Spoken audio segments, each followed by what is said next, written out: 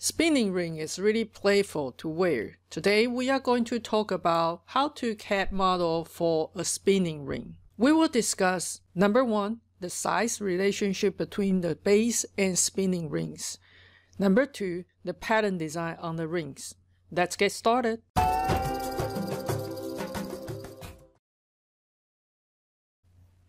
If you search in a Google image, you type it spinning ring, you're going to find out basically there are two type of them. One is it is this type of um, flare out on both sides and a lot of them is handmade so you can see a lot of texture on it. It's play with texture. The other one is more of a commercial done and you can see it's more like a ring band style whichever it comes up, it always have the age is higher or a larger size compared to the one in the middle for the spinning. So let's take a look on our model. Basically, in the commercial setup, you're going to have whatever inside and then have this uh, gray ring being made and solder a ring on the side to stop the inside ring coming out. Let's take a look on this purple one. This purple one is represent the spinning part. Uh, let's take a look on the right view. As you can see, the profile right here is exactly touching the wall of the base ring. If you CAD model in this way, the ring is not going to fit because you have to consider after casting, they may shrink a little bit. Both ring will be shrinking, but you rather to give a little bit more room. With that saying, if I'm doing this for, for casting, I might need to have a little bit bigger. Now the question is, how big should I have it? If I have it too big, this is gonna running around inside. If I have it too tight, it will be just spinning. It is up to you as you can see from the Google image. Some of them is really loose like this one. And the design is for it to spinning a lot. My suggestion for you is if you wanted to have the spinning tightly, I would suggest you have 0.5 millimeter larger in the diameter so it will spinning freely but it's not moving around. On the other hand, we can make it much bigger so it will tilt it inside of your ring. The key is you don't want the inside diameter is higher than this edge right there, otherwise your ring will fall out. With the concept in mind, we are going to take a look on how to make this ring. For the production process, you're going to cast those three rings separately, and then you will need to uh, slice the green one and the um, red one open and put it in there and solder it back. Let's start with the front view we want a circle for diameter 16 millimeter as usual. And we want to go to the right view.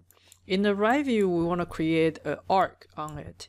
Um, you can make it as thick as possible but be careful if you have it too thick you may reduce the ring size in the sense. So always need to consider measuring in the wider ring uh, size to get the proper size.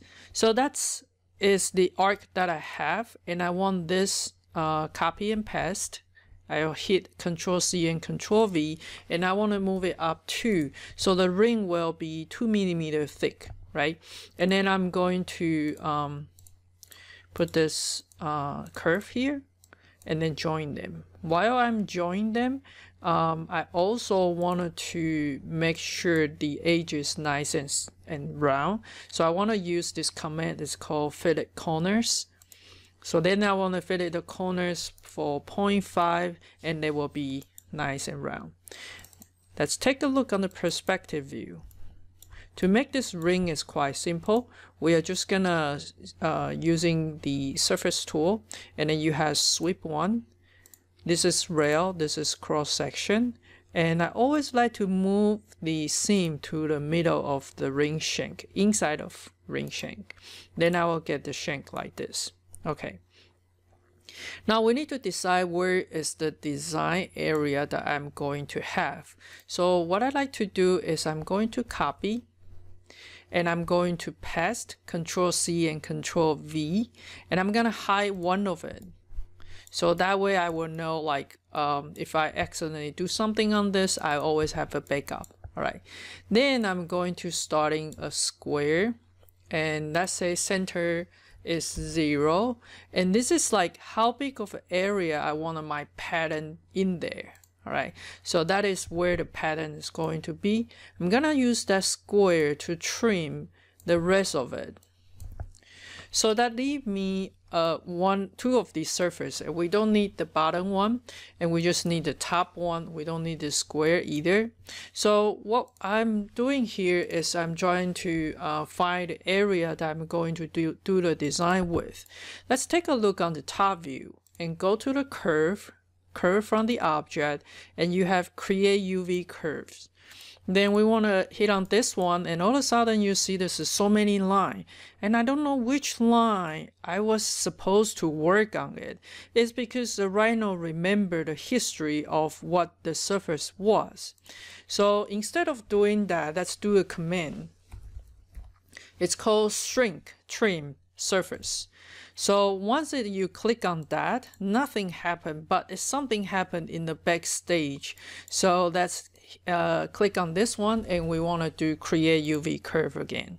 So let's create UV curve and then all of a sudden you only see this space right here to represent this area. So we no longer have that weird things, you know, uh, coming out and, and get confused and actually that wasn't weird things. It's just like right now remember what was it in the history.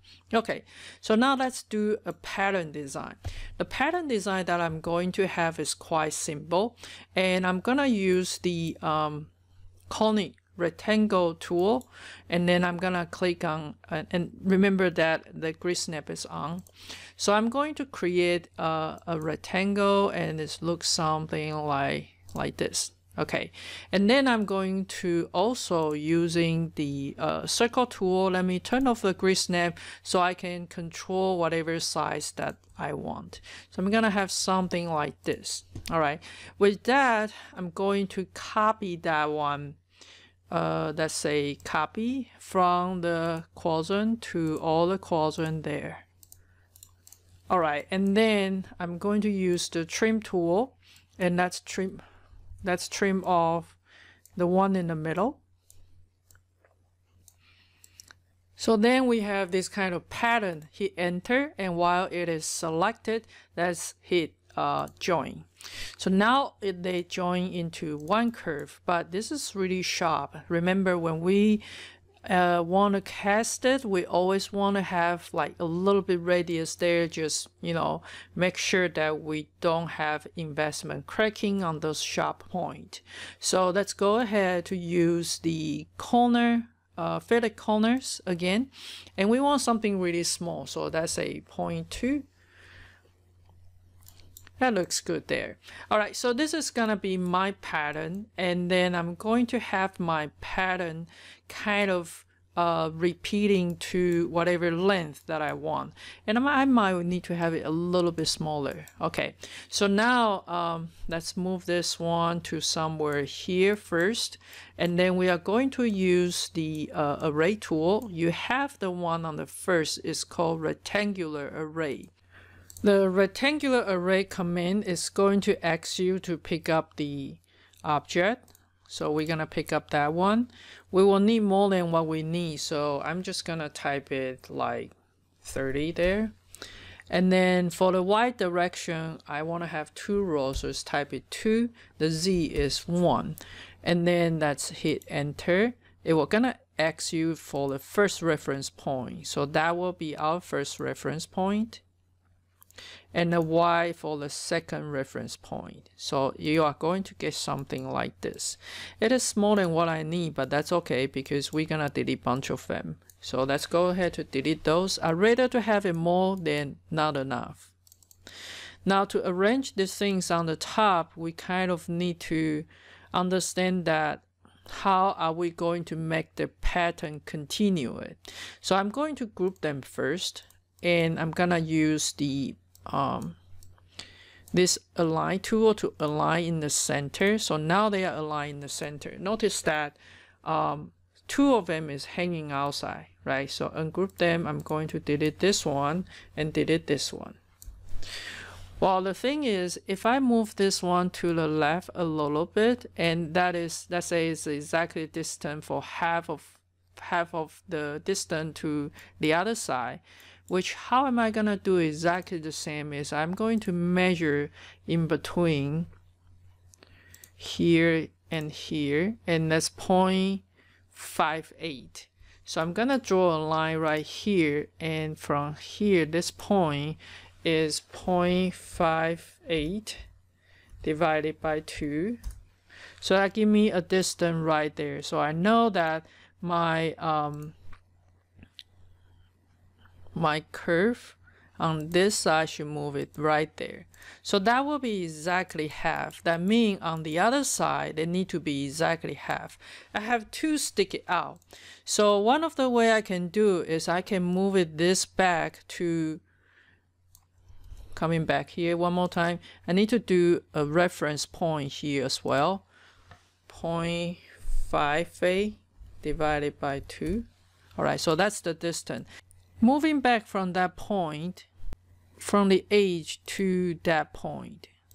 All right, so that means this will flow to the other. And you might have a question say, is that, is isn't change the proportion of this guy?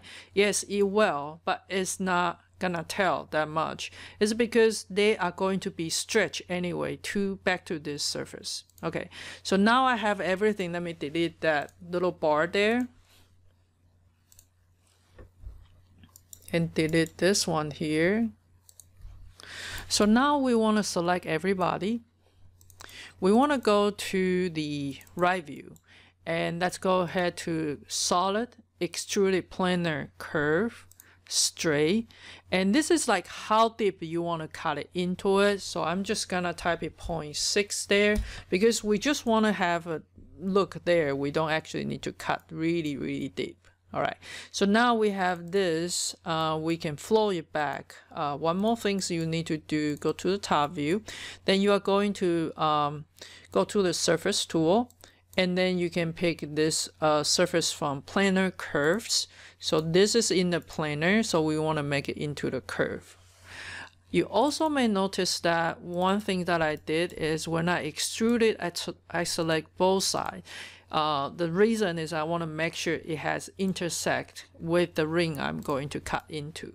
Okay, so let's take a look on this. Um, we are going to use the command it's under the transform. You have flow along surface, and then you want to pick up all of them. And then you want to hit enter. You will ask you where's the base surface, which is this surface is sitting on.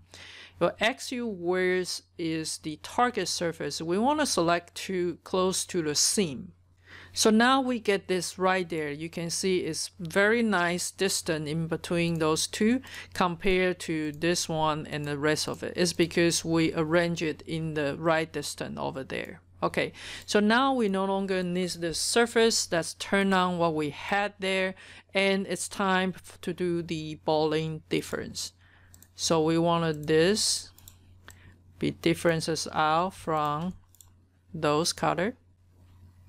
All right, that works.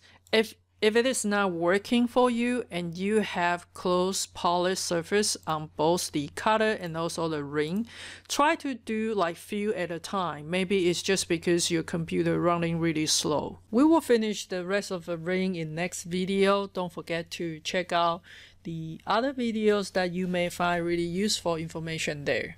See you next.